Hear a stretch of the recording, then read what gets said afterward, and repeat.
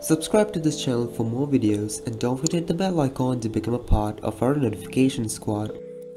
First go to Google Chrome and search for Pocophone Launcher APK. The first result, click on it and select download. After downloads, install the po Pocophone Launcher. It will replace the already existing system launcher on your Xiaomi device. If you want to go back to the older version of your system launcher, you can go to settings and click on installed apps and uninstall the update.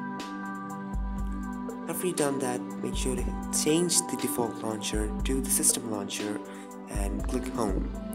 Now you'll be greeted to the new and updated Pocophone launcher on your Xiaomi device. It is a blend of stock Android mixed with MIUI, so it has that stock Android look.